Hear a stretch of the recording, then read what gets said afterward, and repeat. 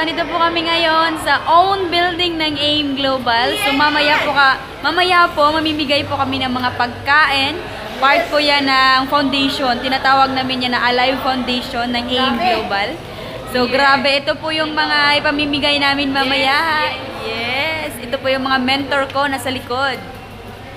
Yes. So, kita-kits po tayo Mamaya. mamaya. malaki ang puso ng M Global. Sana Yes, kasali tama. ka na.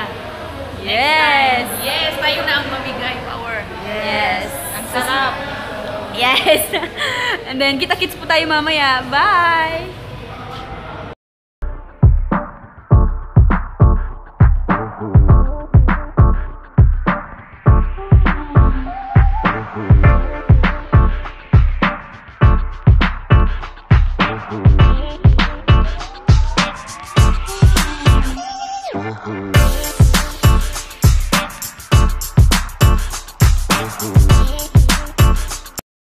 Back! So, andito na po ulit kami sa area namin sa Guba Elementary School. So, almost starting na po yung event.